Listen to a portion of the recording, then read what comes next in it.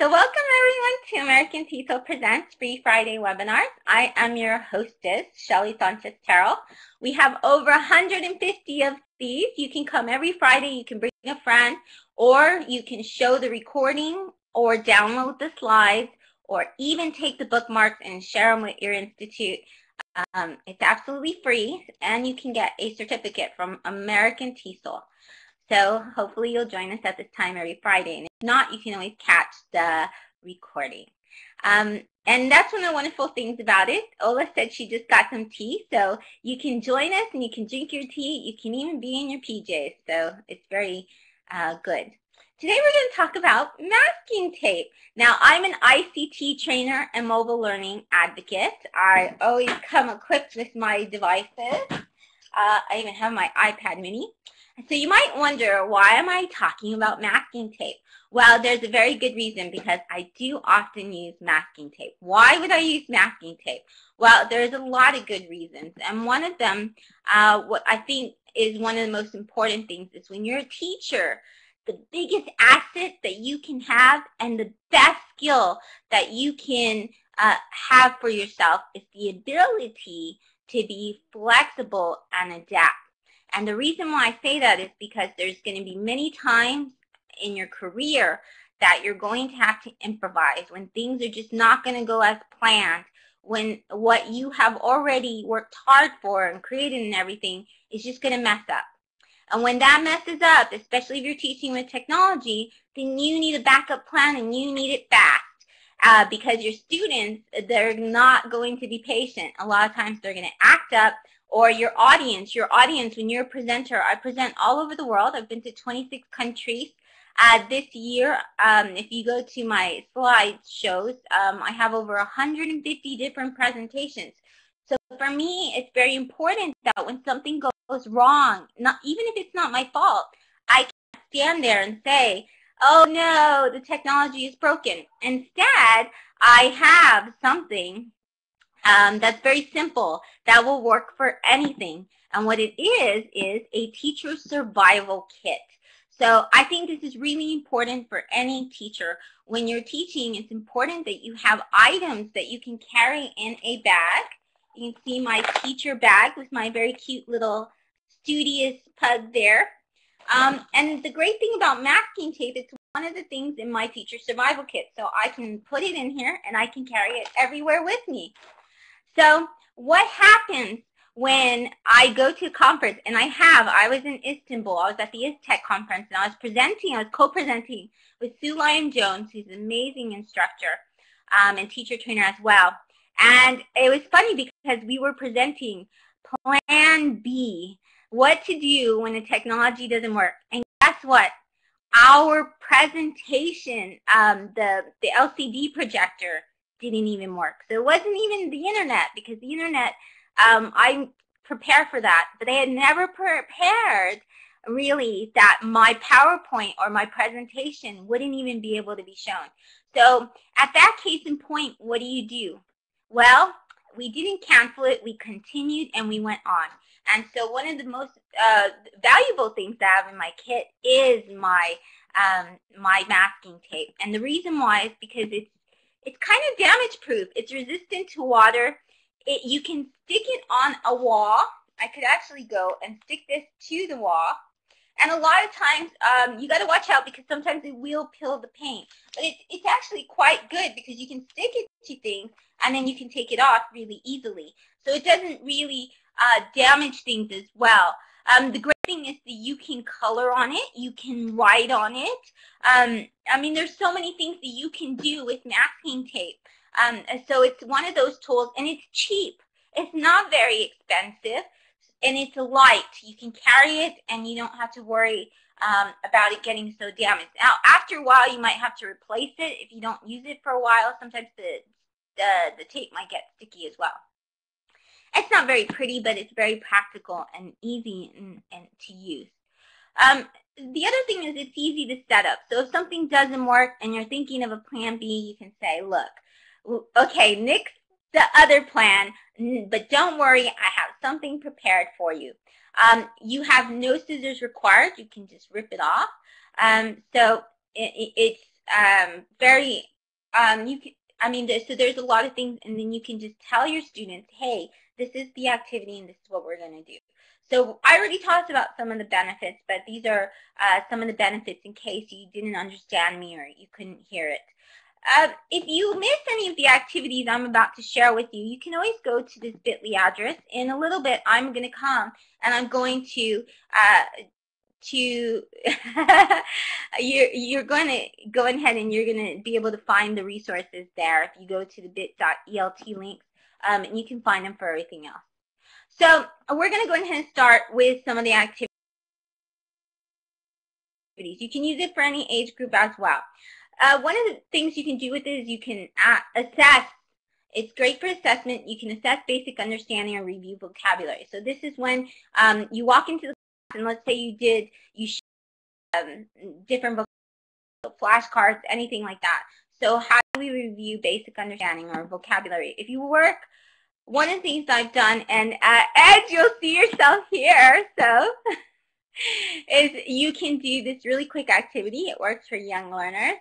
Um, you can also you can you can use it with adults. I'm using it here for the teacher training. So all you simply do is you take your masking tape, you put a line on the ground, and it opens you up to so many different possibilities of games. And one of the games is jump to the left or jump to the right, okay? And this is great for working with young learners as well because you can make it as simple, difficult as you want. You can say jump to the left if you are happy. Okay, so you're doing emotions. Jump to the left if you are hungry. Jump to the right if you are sad.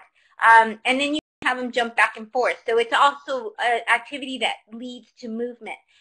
And then you can make it more difficult. Jump to the, you can build up jump to the left if you are wearing blue, if you are wearing something soft, if you're wearing dark colors, if you're dressed for winter. So you can do that. Um, you can do it as also an introduction game. Let's say that you want an icebreaker where your students want to meet each other and you want them to learn more about each other. Then you can use things jump to the left if you like ice cream. Jump to the right now if you if your favorite ice cream is chocolate and then you can have them um, turn around and they can talk to each other and they can say they can have a 30 second conversation a minute conversation of why this is their favorites and they can talk about favorites afterwards. So there's a lot of flexibility to go with this topic.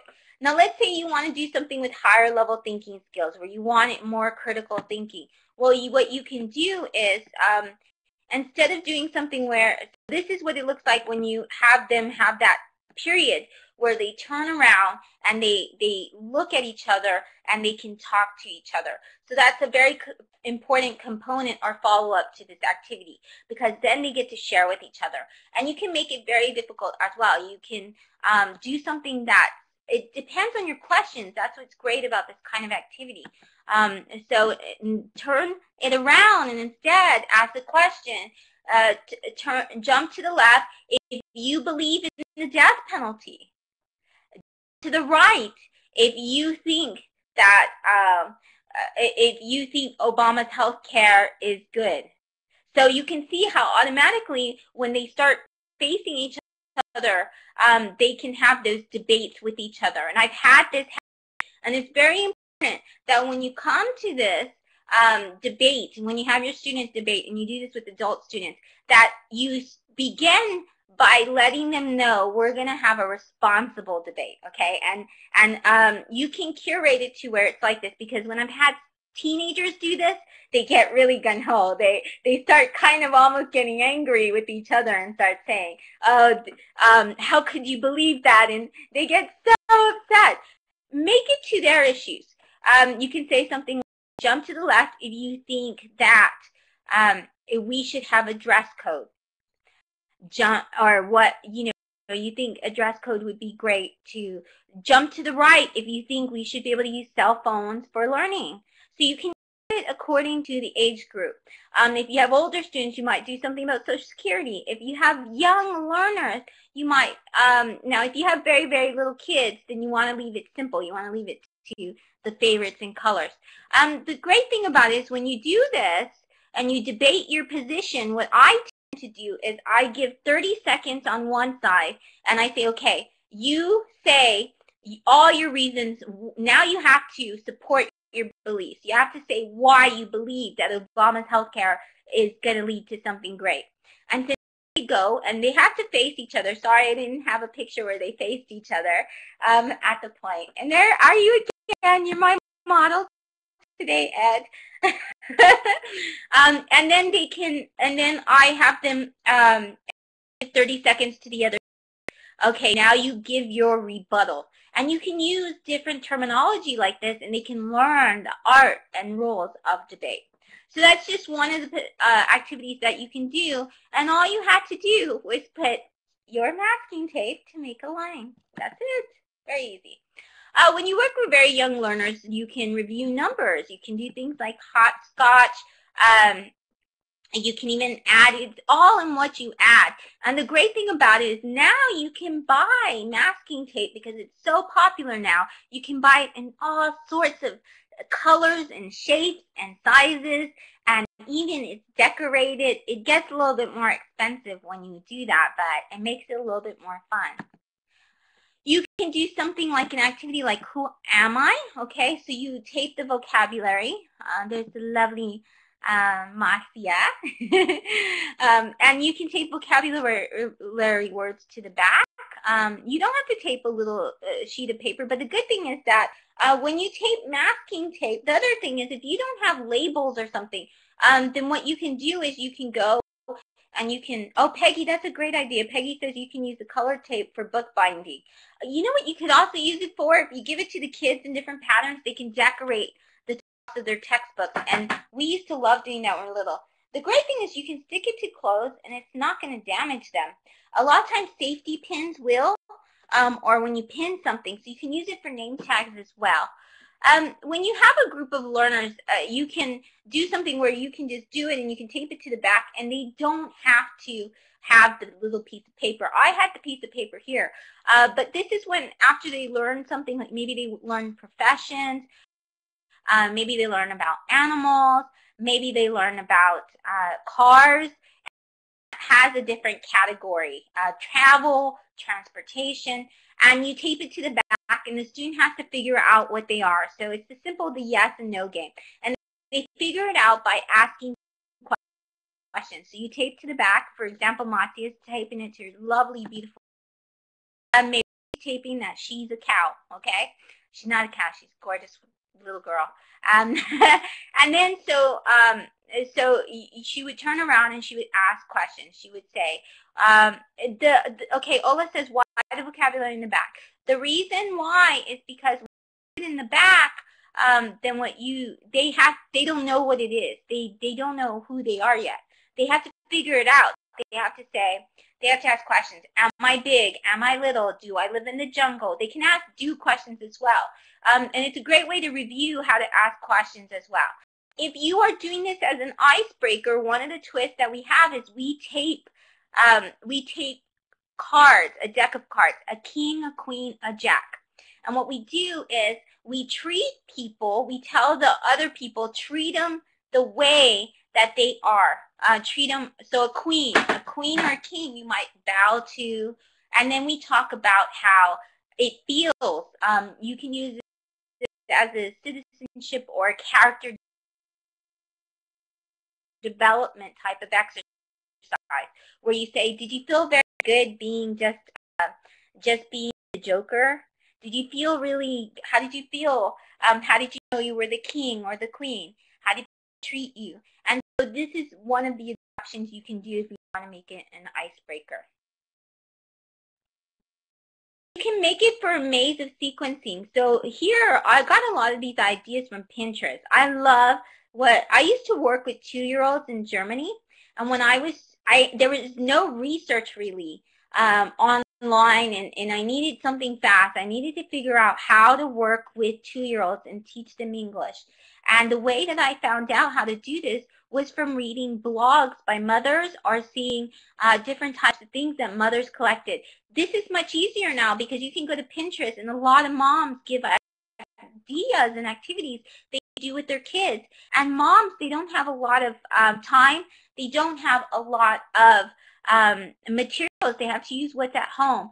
So they have tons of masking tape ideas and activities. Here, they have created a maze with their child. And what you do is on the different points, you write down uh, different words. You can you can write down bus stop and you can have the child colored in. They basically at each point of the path think of them writing down. Um, if you look at it, these are actually have written. They have bus stop. They have hospital. They have fire they have the grocery store. So then you can use sequencing events and you can teach prepositions and you can also teach decoration. So one of the um, uh, directions, so you can ask your, your child or you can ask a bunch of young learners, you get them to have little cars and they can go in this huge maze and you can say, okay, uh, drive right, drive left. It could lead to somewhere. You can have, okay, we need to find our home. We need to drive to drop the kids off at the bus stops, okay? You can make, so there's different things that you can do with these different types of stops. The great thing about masking tape is you can just tape over. So if you want to change the stop, all you have piece of masking tape and tape it right over. And then afterwards, you can take it off. I don't know if I would necessarily do it wooden floors. She might have some kind of staining on there or something. Um, um, usually I find with the basic carpet, it's not going to ruin it. Um, a lot of times I've been in conferences and you can't do that. It, it makes it really good to have a maze for sequencing. Okay, turn right, turn left. Um, they can do, um, okay, go to the, you can call them one by one. You can have them in a circle around this big maze, and then you can call them one by one. Okay, Tommy, um, I need you to get to the fire station. I'm going to give you directions, and then you can um, you can you can follow those directions. See if you can follow my directions. So then I can say something like uh, turn, and and what you can do at this point is you can put a masking tape to hide the the hide the stop so they don't know you can say, okay, Tommy, make a right. Go straight. Oh, you got to stop at the stop sign. Make a left. Yield. So, I mean, these are the directions. And then you can get Tommy to uh, the backing, the safe as well. Yes, exactly. So Peggy says um, that you can, if you don't leave it too long, then it doesn't leave a mark and it comes off easily. So you can do something like that quite easily you can create a scene. Now, I got this from Jamie Keddie's lessonstream.org. It's one of my absolute favorite lessons. So what you do is, uh, before your students even come into the class, you put a print of a body. You don't have to do all the fill-in. Here is the fill-in. And then you put the desk around. And then you ask them questions. Is this person dead? Um, and then uh, that would be one. In this particular one, he's not dead. He's actually, um, this person is, is uh, just hurt. They're drunk and they're packed out. And they have to create the story or the scene that comes with that. So they paste it together. They say, okay, well, why, how did this person get here? If this person is, it could be a mystery. How did that person die? who, uh, you know, and then you can even feed them pieces of the story. Well, there was a knife involved. Oh, well, there was poison involved. Oh, there was, so you can have them. Um, you can point to different students and say, okay, you get to decide the, the, the weapon of how this person got sick. You get to decide, you can point to another student and say, you get to decide who it was. And then we ask them questions, then you ask them questions. They decide, but you ask them questions to guess how that person got. So it's a great way to have them critical think, um, to put pieces, story together. You can record this and then you can you can actually go afterwards and someone can write down the, the story. You can have someone you designate as the reporter who is writing down the facts of the story. This person gives this, um, the scene where it happened. This person gives the weapon. This person says who uh, the victim is. This person talks about um, who the uh, the criminal, this one talk, you know, so you can give all these and then this person writes down the story, and then you can even afterwards you can um, put it online and you can do something um, visual about it. You can have them act a scene out. You can have them do um, a pow wow, uh, a Powtoon, an Animoto, uh, a video of it. I mean, there's so many different things you can follow up and do with it afterwards. Then you can have a talk. If it is something about drunk, um, on on lesson stream, if you go and you find this lesson plan, then one of the things that they do is they actually have a um, they talk about drunk driving and they talk about uh, why it's important um, to, to you know the, the the dangers of it, and then they talk about their experiences. So I think it's a really good, valuable type of lesson. Um, you can it for fishing. So um, one of the things that I got this from NoTimeForFlashcards.com. Although I use this activity with my flashcards, I put a lot of flashcards down. And what I've gotten my young learners to do, I taught um, two to 10 year olds as well in Germany.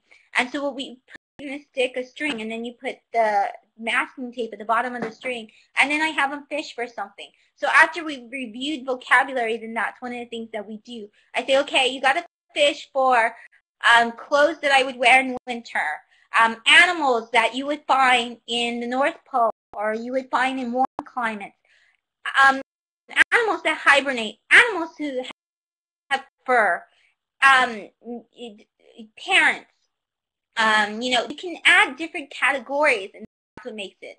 Um, for studying math, um, add it for uh, numbers that can't be divided um, added for numbers that can be divided by 2 uh, and have a whole number. I mean, so there's different things, integers, non-integers. I mean, there's so many things you can do for geometric shapes. I mean, so you put a whole bunch of uh, flashcards. I do flashcards because usually they have a laminate and, and what I can do is then I can have them review the flashcards, but then I don't have to constantly be making these little fish. I can just have the set of flashcards they usually use that has the laminate over and they can just fish for it.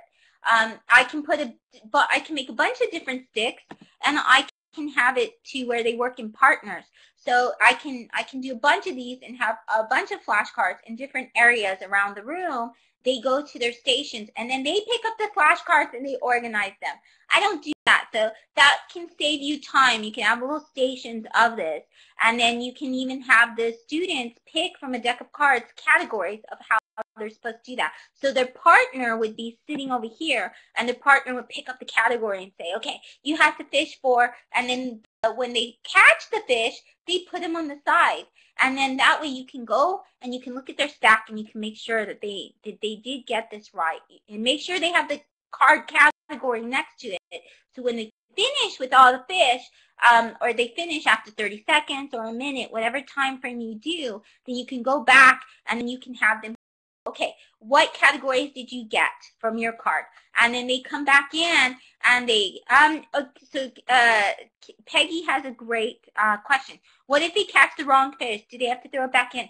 You can let them know that ahead of time um, because that way they know, that way you know um, that they didn't do this, that that accident didn't happen. So that's a really great question. Yes, give them the option to throw the fish back in or throw that card back in as well. Um, and then afterwards, you can talk as a circle. Okay, what did your pairs come up with? Um, and then they can read their category. Oh, well, we got relatives. And these are the fish that we put, we caught for relatives. Um, another group might get numbers, and then they can talk about that and then we all learn from each other.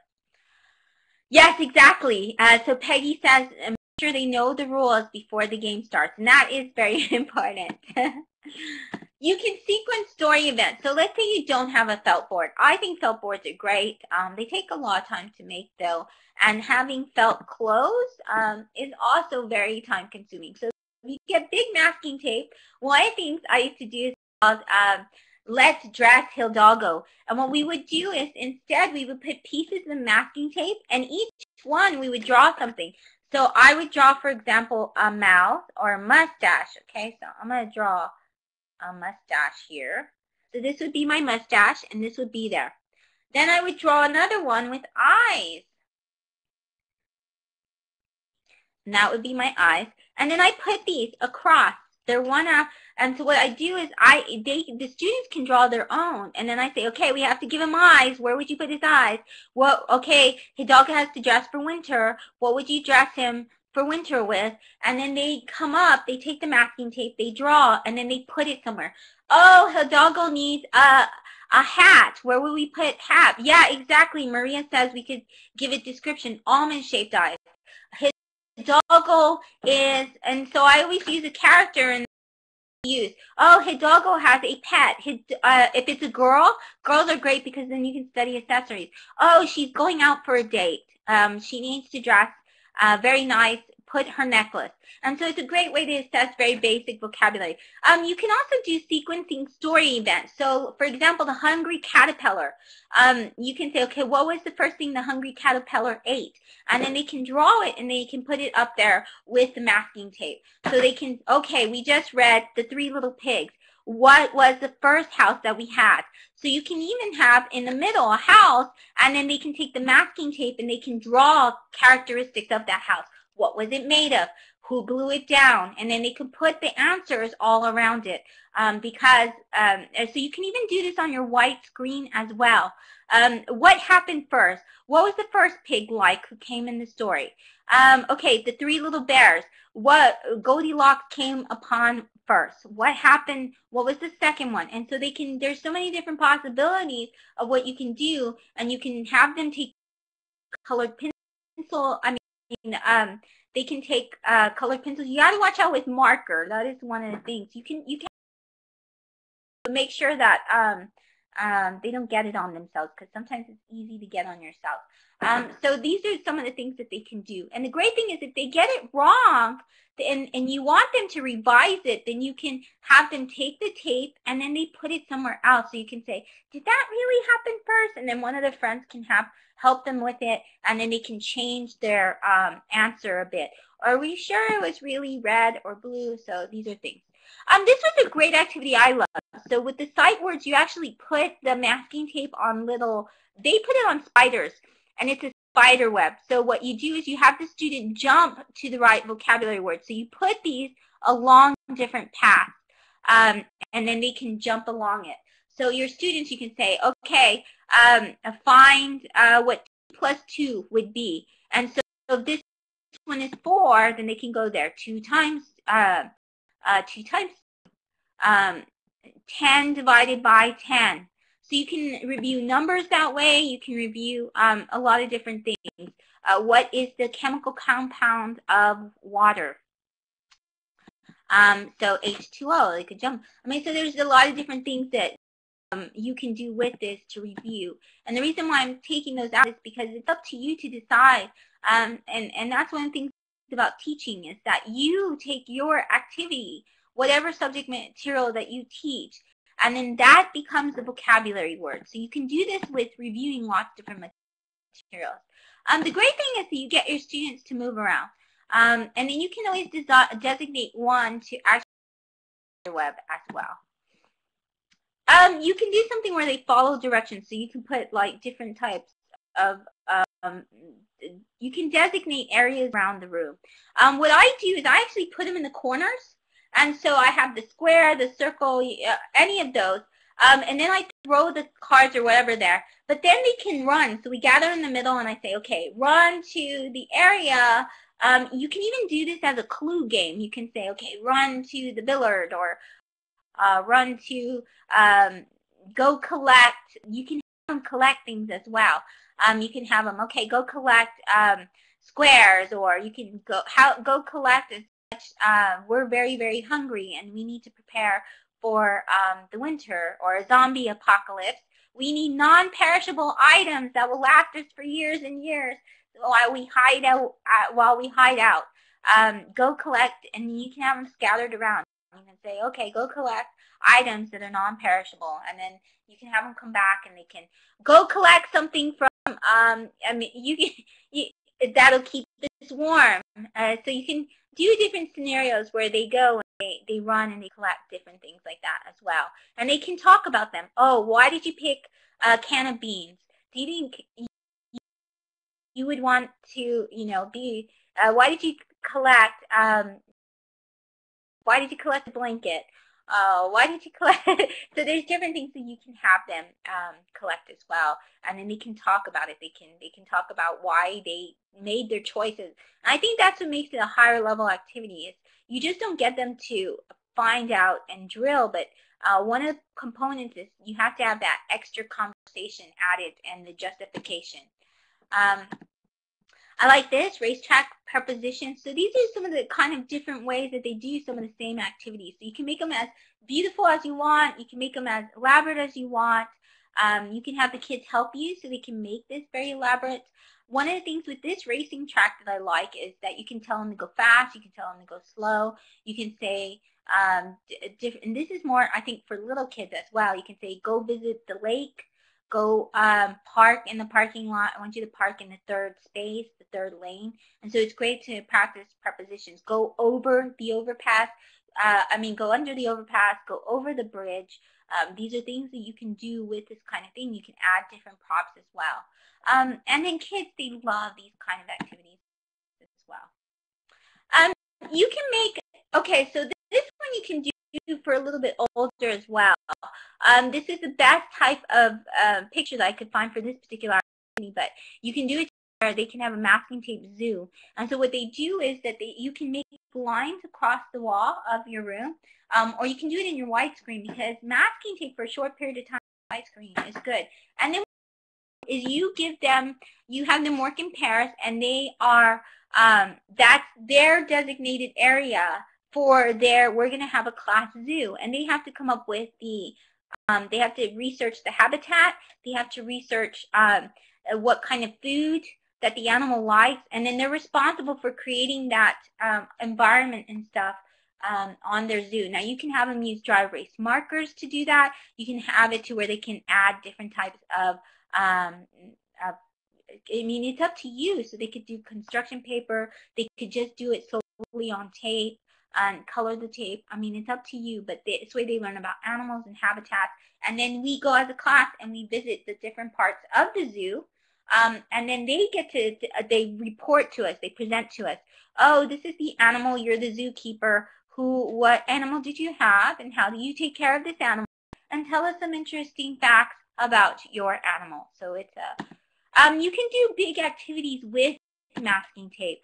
Um, you can do line activities as well. So when you do the line activities, you can just have it to where they start and they race. Um, you can do a word wall. That's one of the things, that we're running out of time, so I'm kind of going through this fast now. A word wall is very easy and see how they um, they have the word wall. They have this throughout the year. They did it with blue, and then each day um, students add different words and vocabulary that they had it with. You can make the word wall really beautiful. You can make it into a tree. You can make it into a cognitive map. And every single day that they learn a new vocabulary word, you could have another student responsible for putting, posting those vocabulary words each day. And by the end of the year, you can go back and you can review them. If you use wax paper, it makes it very easy to punch a hole with um, if you put wax paper underneath, you can uh, punch holes uh, with the masking tape uh, because sometimes it gets sticky and stuff. So that way you can take care of that sticky part. There's another thing you can do with masking, uh, with wax paper and masking tape type of combo. Um, with this kind of things, why do you want to do that? Well, the reason why you would want to do that is because they could do masking tape poetry. It's a cheap ver uh, cheaper version of your magnetic poetry. So the students can, um, you can have them at the beginning, they can add all the words. You can say, okay, um, add, I need you to uh, write down three prepositions, three nouns, uh, five, um, five verbs, and, and then you mix this all apart, and then they post it all up into one area, and then each one of them can come and they can they can put up different types of words together to make a story to make uh, uh, poetry uh, and things like that. Do it for a chain story so you can have one of the students, they can write on it so they can write on the map. It makes it easier if, if it's on um, a flat surface, but they can write the beginnings of a story. Instead, what they do, because what happens when you tell a chain story is that at times you don't have the words. So what can you do is um, you can have um, you can have the masking tape, they write down one person gathers and they write down the first part of the story, once upon a time. And then the second person, um, then they can post it on the wall. The second person runs up with theirs. Um, there was, and then so you keep adding and adding to the story. At the end, you have the whole story. You can take a picture of it, put it on your Instagram account, um, it on Evernote. I mean, there's so many different things. You can take a picture of it. You can post a picture of what they just wrote, uh, and they can they can make it um, come to life in a storyboard. Um, they could put in a ZooBurst. I mean, there's so many different things you can do with that. Um, you can create sentence jumbles for their peers, so you can have them work in pairs, and then they come up with um, word jumbles, letter jumbles, sentence jumbles, and they pass on to their peers. Uh, they can even put this on wooden desks, and so they're, they can switch desks, and then they can go and they can try to match that jumble. So they're going from desk to desk trying to take um, do these jumbles. That's a way to get them to come. Um, you can decorate your room with it. Um, you can see all the beautiful types of masking tape that there is. Lines, dots. I mean, they come in all kinds of nice. You can find it at a craft store. So if you go to a local craft store, sometimes you can find it at the dollar or one euro or one lira kind of stores as well. You can make a huge class calendar. This is one of my favorite things to do. You put it up in one wall. And every single month, you can have your students go and they can tape up their birthdays. They can tape up, you can have, of course, your tests, um, but they can tape up their soccer games. They can tape up their, um, or their football games. They can tape up their, uh, yeah, you can do deadlines, things like that, but it's a massive class calendar. It's a way, it's always there, so they can't give an excuse that they forgot uh, because it's always there when their projects are due, when their presentations are coming up. So it's a really nice way um, to dedicate and have your whole class be involved with this calendar. And you can make it very colorful. And it takes up one part of your wall as well. So with masking tape, um, it's always change the numbers. You can have your students go and they can, you can make them responsible where every single month they can go and they'll, um, they're responsible for putting up the numbers of that calendars.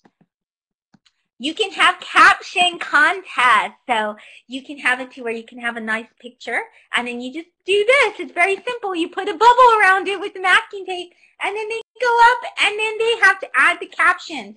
Um, it could be a great way to um, have them be very creative. You can do this with the characters. So for example, let's say you're teaching something like Twilight um, or whatever characters you have, then you can have them up there. You can have it be uh, Abraham Lincoln. It doesn't matter. You put the character, you put, put the setting around the picture up, and then you can have them, um, you can post that picture whiteboard, and then you put the bubble, and you can say, okay, what do you think he's he's saying here in this particular thing? Uh, okay, so so Edward uh, just saw the baby, uh, Bella's baby. What do you his first words when he said this. And you have him think about the characters. You have him really jump into the characters' positions. What do you think that Elizabeth Bennet was thinking when she saw Mr. Darcy? And instead, you put little bubbles instead. What was going through her head? Uh, what was happening when uh, Dr. Frankenstein first saw his creation? Um, so you have them really think about what the characters were thinking and they jump um, as well. And you can have it to where there's more than one as well. You can put two bubbles. And then what you can do is you can have them do role plays that way. Um, and then they have to jump into the characters. Okay, you're a businessman. Um, you are selling something. You're selling something, a car, okay? A used car. And this is uh, a lady you you are the lady car for your family. It's your brand new car. Okay, and then they can have conversations back and forth. Um, you're on a first date. Uh, what you know? What what are you thinking? What do you think the guy is thinking? So you can do different things like that. So we've come to the end, and you can find all of these activities if you go to the Pearl Tree. Um, you can find little pearls, and then you can um, add them. Um, let me go ahead and put that for you. Um, so you'll be able to do that. Oh, Peggy already did it. Thank you, Peggy. You're awesome. Um, you can also download your certificates and you can find all the bookmarks if you go to the bit.elty links address there. I'll put it inside the chat box. You can copy this chat box as well. I hope this helped you. There's tons and tons of activities that you can do with masking tape. It'll save you in a lot of areas. So if you need stall time or anything like that, something goes wrong, you can have discussions, you can have debates. Um, there's so many different things you can do. So I, I really hope that you enjoyed this and um, you can copy the chat as well. And thank you very much for showing up.